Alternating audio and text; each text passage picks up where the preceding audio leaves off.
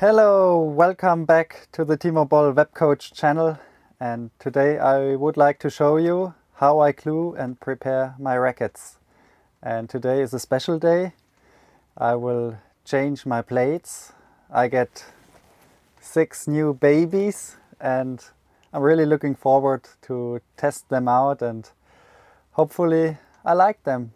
But first of all, yeah, it's a lot of work to prepare them. I mean, six backhand rubbers, six forehand rubbers, and I will guide you how I do it. And yeah, it's a very simple way, but I try to be really yeah accurate and precise how I glue and so I would like to show you and maybe you can do, do it the same way. First step. First step is always I am weighing out my rubbers. So I have a small scale and yeah, a pen and I write down how many grams each rubber has. So this is good to to know the the hardness and, or softness of the rubber. I mean, I like to play harder rubbers and they are too soft already, um, I give them back to the company. So I'm a sponsored player, so I'm really lucky and um, but if I don't use them, I give them back. So let's start weighing them out. Um, I'm using the the Dignics 09C already for a while and I play them quite heavy.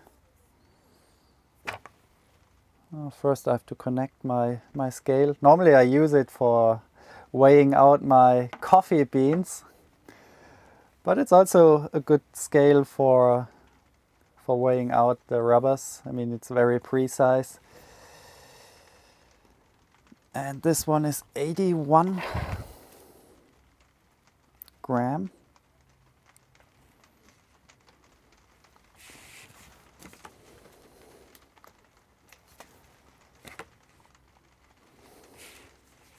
Oh, first mistake, I have to put off the paper, which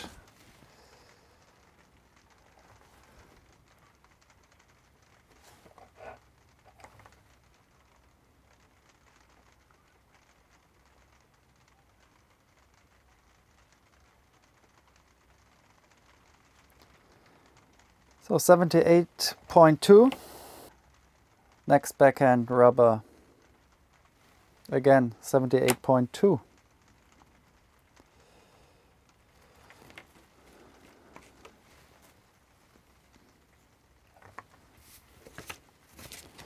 Number three. Oh, this one is a bit lighter.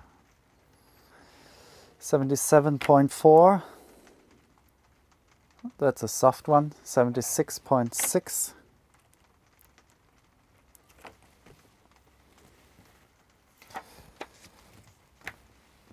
At home I have a, a little bit larger scale, which is a bit more convenient than that one. This is a this is just for espressos. So next one is 77.2. So especially during competitions I like to know how many grams I played and especially if I had the feeling the rubber is really good then I try to have exactly the same weight on the next racket. So I switch them regularly after one or two days during a competition. Oh. Seventy-eight point two. Bit harder. So these are the backhand rubbers, and now we are coming to the forehand side. Normally they are a bit heavier. Not this time. 76.2. I mean, anyway, in the beginning, to play with a new blade, it's it's really different. I mean, it's a lot faster. It's a lot more stiff in the beginning, and but it's fun. I mean, it's always fun to test out new equipment, especially blades or rubbers. And the last one is 77.4. Okay. So the scale we don't need anymore. Next step. The first step or the second step is to put the first layer of glue on the rubber sheet. So I move my blades a little bit away and position my rubbers in front of me. Three. Oh my gosh, my table is not big enough.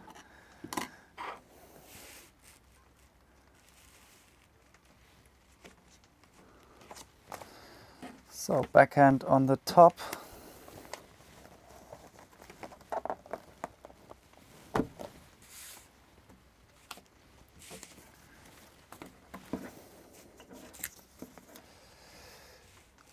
Oh, exactly.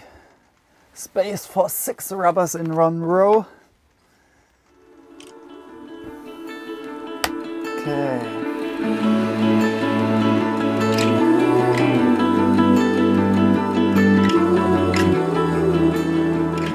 One of these rubbers. So Dignics 09C.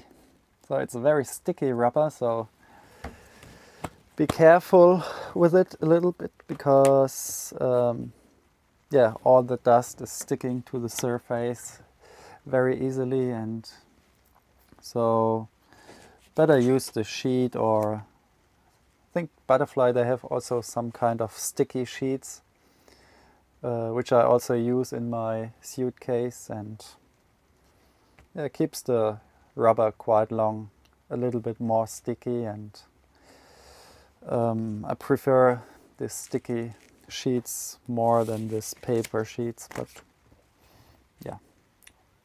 For gluing it's perfect. So I'm using the Free Check Pro and yeah, just water-based glue, no tune at, at all. I mean, I never tried it out because I always try to be fair and uh, follow the rules and so I get used to it. I mean, a lot of players using tuners and boosters, but um, I got used to it. Um, I have a quick arm and stay closer to the table, so not not that big disadvantage for me. So important is uh, to use not too much glue and not too less. I mean, and try to be really accurate. Um, try to use always the same amount of glue for each rubber and I mean I I have a lot of practice doing that but I mean it's really not so much fun takes a lot of time but compare the gluing before with the old glues uh, yeah it's much much easier. Because just use it one time invest one hour for six rackets around and then you're done for a quite long time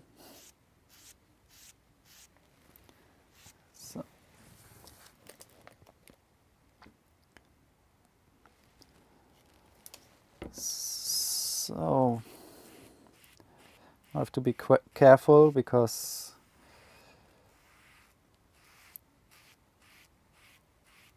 I'm always tending to use too much glue the longer I am doing it. But this was already a bit too much, so try to make it more equal, more accurate.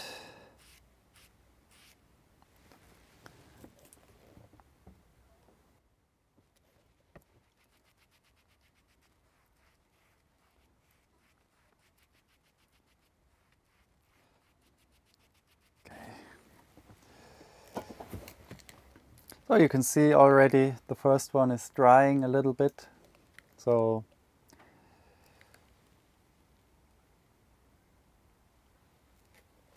going quite fast.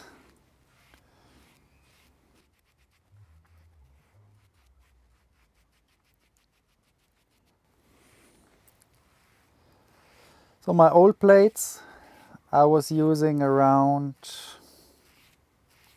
two or three years now, but I can feel they they become a bit slower and all the sweat which is inside now it makes the whole blade a bit softer and slower so I mean depends how much you sweat and how how long you were using it, how many tournaments and games you played. So to to use six blades, I mean that's not normal. I think I'm the only player who use that many rackets. And I have also no favorite racket. I change them really regularly. and I'm also not superstitious, so that's also quite important because if you if you win one game and normally if you are superstitious then you don't change and I'm very strict so the rubber gets a little bit too old I'm I'm changing to the next racket and I have always enough rackets prepared for for my tournaments. So the last forehand. Oh, that was too much.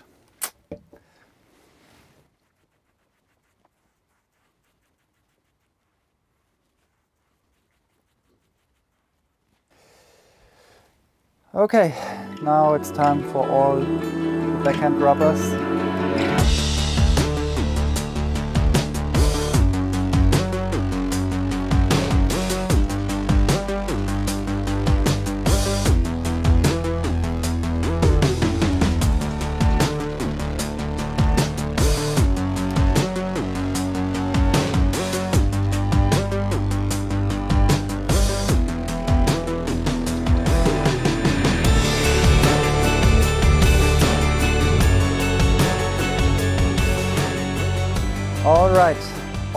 Rubbers are covered with glue now and now we skip over to the blades.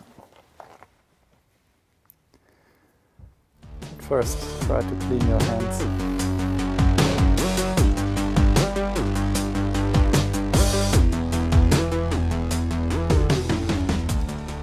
Okay, this is the first blade, but because I have already six blades, so this is number seven.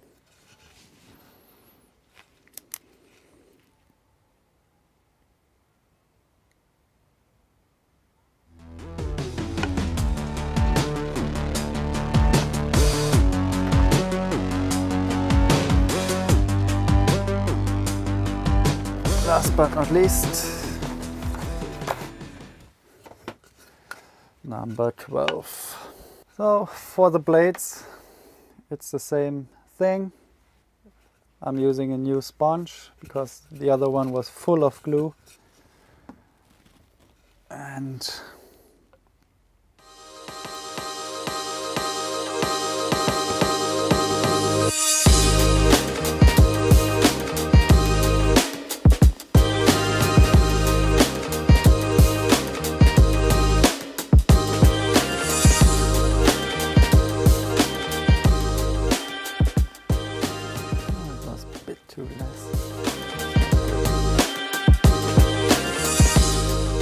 be careful, especially when the sponge is new.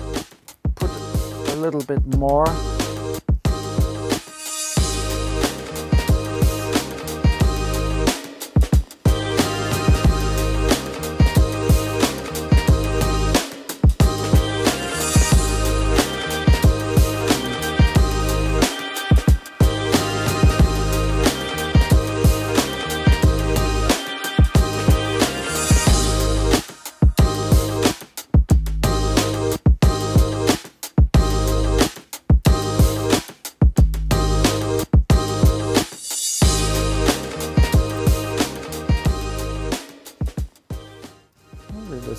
Is drinking the glue.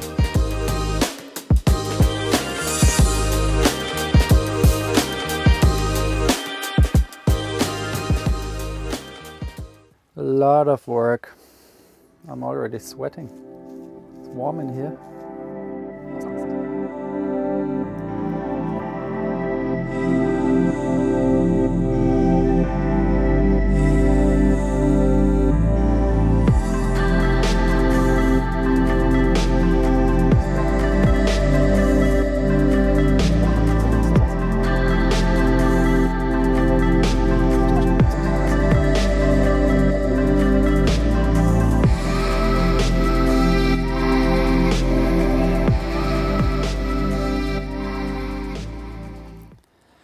So this is the second layer already for the rubbers.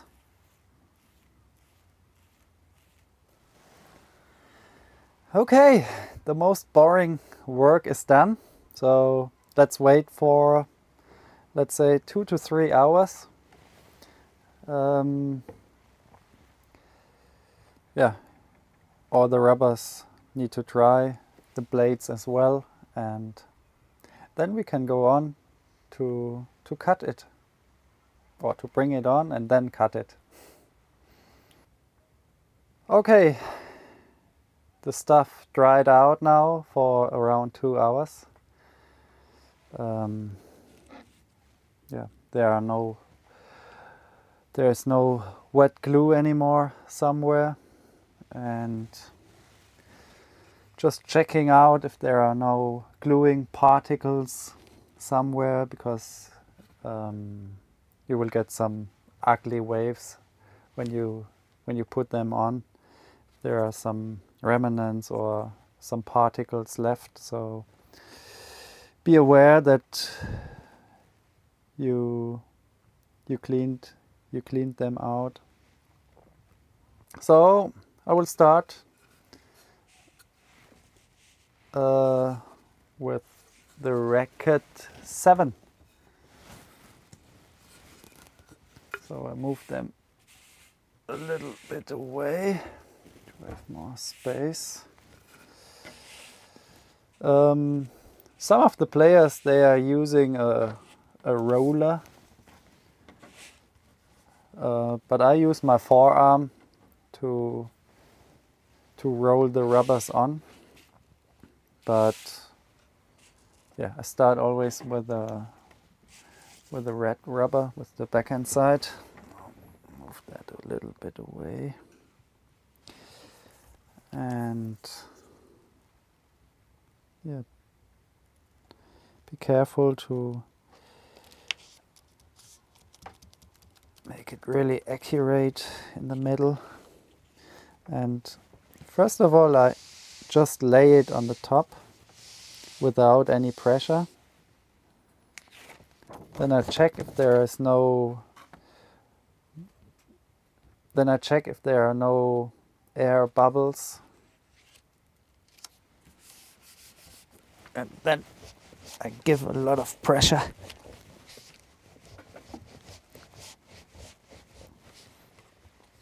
Okay. Looks good.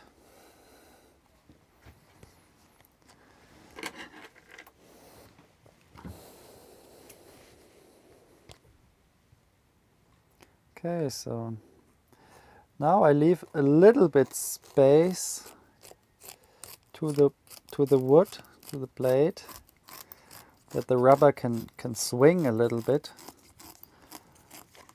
So maybe half a millimeter or that's okay. I mean there are rules that, that it's not too much but yeah like this should be okay.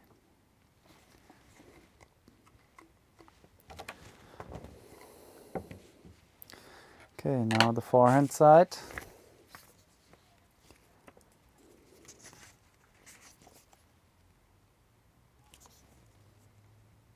So first of all, I write down backhand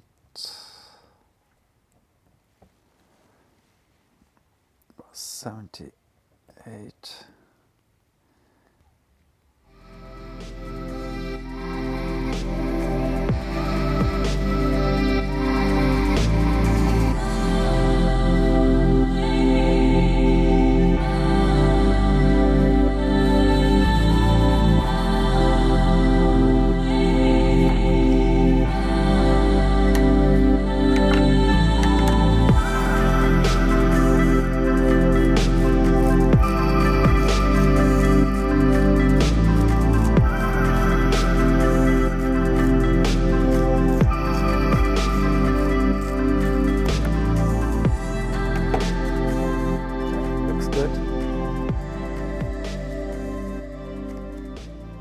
Which is also very important to document the weights of the rubbers. So, yeah.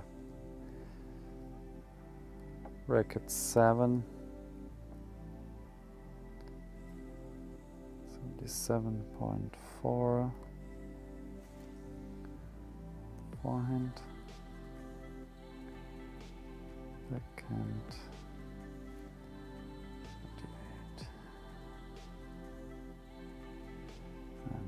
Racket 8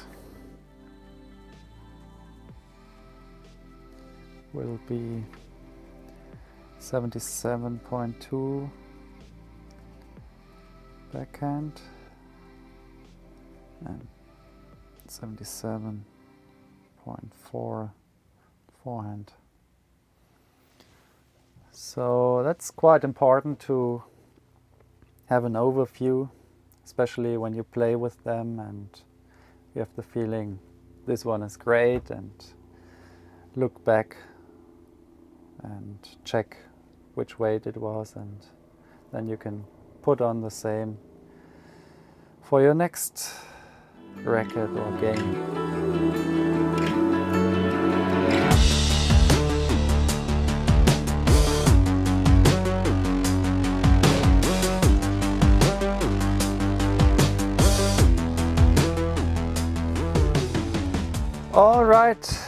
Six rackets, six blades, 12 rubbers, and we are still not done. So what is missing? It's the edge tape. I'm using a, an edge tape now for around two years. So the problem was always the edge tape changes the characteristics of the rubber and yeah, how how the whole racket feels, especially it's not swinging that much and yeah, it was a some kind of dump feeling, I don't know. But now I found out I'm using the edge tape just on the lower half just for security reasons because I'm hitting quite often the table with that side, especially when I receive. So always when I hit the table here when I receive, yeah, the rubber was was in danger to to get loosening to get loosening and yeah with the with the edge tape it's more secure and yeah like this it's not changing that much the characteristics of the of the of the racket so yeah it's a good way for me to a, a balanced way for me to have some security and not changing the characteristics too much. So I'm doing that now for all the rackets and then we're done. Alright, this was my procedure, how I glue my racket, how I prepare it and hopefully you liked it. Um, write your comments below. Uh, I'm also interested how you prepare your racket and see you in the next video. Subscribe my channel and you will be updated. Alright, see you.